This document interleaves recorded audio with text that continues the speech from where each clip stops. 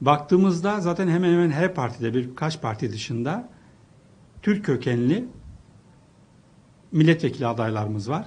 Bu anlamda onlara yakın temasta olmak, onların programlarını incelemek, onları desteklemek çok önemli olacaktır. Çünkü onlar bir anlamda bizim sesimiz olacak. Türk segmenti içinde tabii ki önemli istekler, beklentiler var.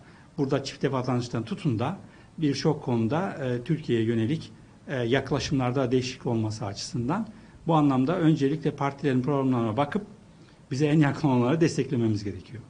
Almanya'da seçimlerde e, her kesim e, oy kullanmasını tavsiye ediyorum. Yani burada e, seçim hakkı önemli, demokratik bir koşul. E, burada e, özellikle e, Türk kökenliler olarak Türklere yakın olan partiler, partilere oy verilmesini tavsiye ederim. Özellikle sorunlarımızı halledebilecek e, siyasi partileri öne tutmak gerekiyor. Valla biz burada yıllardır işletmeceğiz. Merkel'in yönetiminden çok memnunduk yani.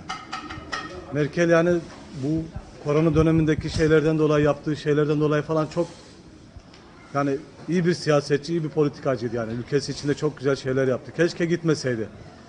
Yani diğer şeyler için daha şu an bir şey konuşmak istemiyorum erken. Ama ben Merkel taraftarıydım. Yani Merkel gibi Almanya'yı güzel bir konumda tutan güzel bir şeyde tam bir siyasetçi daha görmedim yani. İnşallah o gelenler de tutar yani. Bu yabancılara karşı falan biraz daha duyarlı olurlar. Böyle ki hele esnafların falan da böyle mağduriyetleri de yanında olur. Temennimiz öyle. Yenilerin daha çıkmasını istiyoruz. Yenilerin derken yani en azından şans verilmesini istiyoruz.